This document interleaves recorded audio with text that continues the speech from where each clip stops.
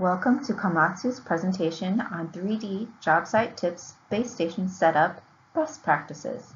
Please note that all information shared is copyright protected. We want to support your business and operations during these uncertain times and beyond. Please check out more resource tips from our experts on Komatsu's Resource Center website page. In this presentation, you will learn about benefits of adding 3D technology to your fleet and basic steps to consider before setting up a base station. Now we would like to introduce Ron Schwieters, Product Manager for Smart Construction. Hello, my name is Ron Schwieters and I'll be leading you through the 3D job site setup tips today. Uh, my background, I've been with Komatsu America since 2011 as a product manager on the intelligent machine control dozers and excavators and I'm proud to to help our distributors and customers try to apply this technology and find that next productivity edge. Thanks for joining us and learning a little bit more about setting up your 3D job site. But before I begin into the technical details and suggestions on setting up a base station, I'd like to briefly discuss some of the reasons and benefits customers have been seeing from investing in this type of technology for the last 20 years. In general, it starts with trying to be more competitive. This technology can improve and transform some old or legacy processes. This can help control surveying and material cost and yields technology can help a customer get to grade quicker, more accurately with less passes, which can add up to less wear and tear on one of your most valuable assets, your machines. But in general, it's just a better, more efficient utilization of your assets.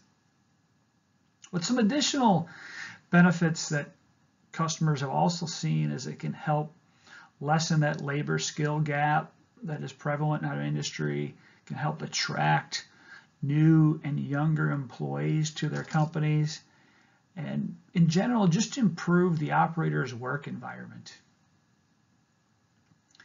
And with some pretty impressive payback periods, it's been proven that this technology can clearly help a customer's business. I'd like to continue on on some basic background and help define 2D and 3D machine control systems and some of the requirements for each. So if we get started with 2D, a 2D machine control system is typically monitoring the vertical plane, either in a flat or a sloping plane. These systems, the machine position is monitored either by a group of angle sensors strategically mounted on the machine to understand the current machine position or a group of sensors plus a rotating laser as a vertical reference. The known machine, known machine position sorry, is then compared to a target design. This target design in a 2D system is typically defined by the user in the field right there in the display of the system. If we compare and contrast that to a 3D system, so a 3D system, so we know the three dimensions, that extra dimension that is now known is that horizontal position. So now the horizontal position of the machine is now known. Typical 3D machine control systems, that horizontal position is defined by a group of angle sensors or IMUs plus GNSS antennas. But or um, you can do IMUs and angle sensors with a robotic total station as your correction source. But with a GNSS or GPS system, that raw GPS signal is not enough. So that base station will serve as a correction source. And we'll talk a little bit more about that in the upcoming slides. Additional with the 3D system, Uh, typically, there is a 3D model that is that is used and created prior to use, and the distance limitations are, are not as great with a, a 3D system. So we talked about some of the requirements in a correction source for a 3D system. So let's move along in this journey and understand a little bit more about that correction source, which is sometimes called a base station. So let's take a look at how a system using a base station, how it all works together. In the previous slide, I mentioned a machine with GNSS antennas as to monitor the machine position needs some type of correction source. And the base station is serving as a correction source for the machine. A machine without a base station, without a correction source, with antennas and sensors on the machine without a base station would be about as accurate as 100 feet or size of a, a blue whale.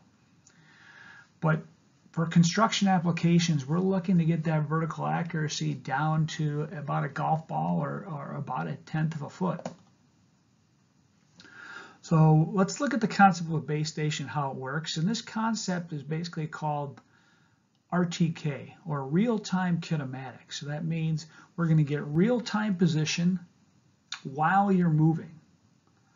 So the concept works with you must place a base station, which is a base station is a GNSS antenna and a receiver in a fixed or known location.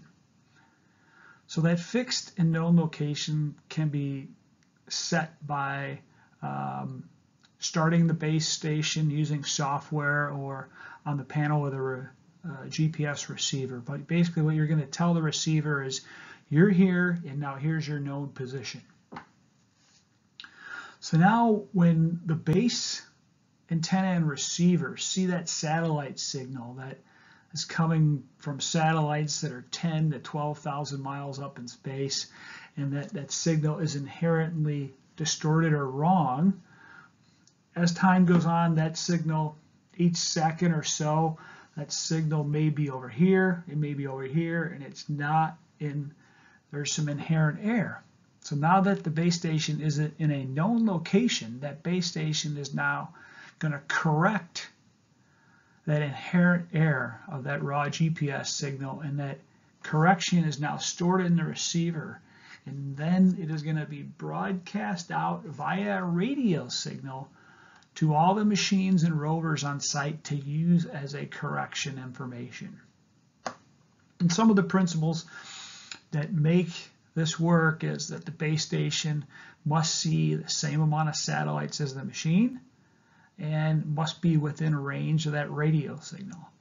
And that starts to come into play when we look at some of the principles in setting up your base station. So let's start looking at some principles of setting up your base station properly. Now that we've understand the basic uh, how a base station works, let's take a look at some typical examples of base stations you will see in the field. And if we look at this left image, this is a modular type base station where the components are separated. We've got the GNSS antenna, the GNSS receiver, and the radio all separated out. And to contrast this example here, we've got the antenna, receiver, and radio all combined into one unit.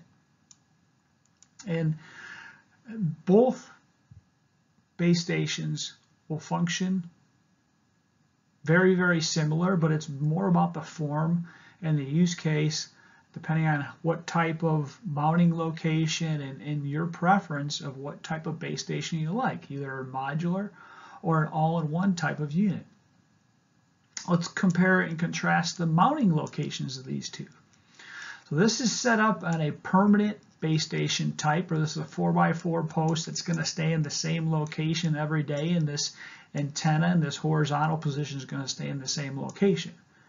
Contrasting this one where this base is set up over a point and would be set up every day and there may be some setup required every day. So I just wanted to give you some examples of base stations you'll see in the field. Some other considerations that must be made if you look at the radio type. So the base station, when they're manufactured, have a certain type of radio.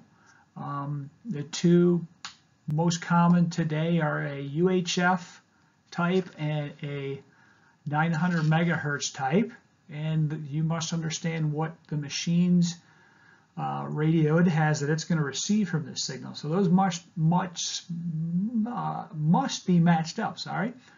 And in today's world, interoperability, so depending on your base station brand, most machines out there can work with its base station. So uh, look with your provider to understand that your base station can uh, work with the machine type you're looking to uh, look at. And for some further learning, you can look at some options besides having a, a permanent base station or a, a, a, base station that's set up daily. There's some other options to get correction sources, um, real-time networks, or a virtual reference uh, systems. And I encourage you to look at those options. They have some advantages um, that you may be helpful for your application. But I want to focus on the base station next and to help keep your job site and some setup principles that will really help you to consider when setting up your base station when you're starting your job site from scratch on day one that'll keep you productive from day one till completion. So let's take a look at, you're ready to set up your base station on day one of your job site. Where do you put it? It's a very important question and we want to look back and, and, talk about a GNSS friendly location. What does that mean? That it means you want to put your base station in an area that is most visible to the sky. And let's let's look at an example to understand why that's so important. Say you have a machine or rover that is in the middle of a job site with no trees, no obstructions, and it's seeing 17 satellites. In a perfect scenario, your base station would be somewhere on site where it's got a view to the sky and it's seeing those and tracking and using those same 17 satellites. That's perfect scenario. Worst case scenario is if you put your base station in a poor location, say your base station is near some obstructions, either uh, trees, buildings, earth, vehicles, whatever it may be, and half of the sky is blocked out. So now your base station is only seeing 10 satellites, as an example. Now your machine is still in the middle of the job site, seeing 17 satellites. But now because your base station is only seeing 10 satellites, your machine can only use those 10 satellites. So I hope that makes sense and makes it clear why the location of your base station in a good position and view to the sky is so critical because it can affect all your machines and rovers throughout the life cycle of your job site. So get this location right from the beginning and you can eliminate a lot of potential position errors. So when we say good visibility of the sky, what's most important is clear of any type of buildings, trees, vehicles, chain link fences that can um, either block the sky or maybe even distort that signal with multipath and that distortion can happen when that signal from the satellites bounces off of hard objects and then the antenna picks it up and can get confused by that signal because it's distorted.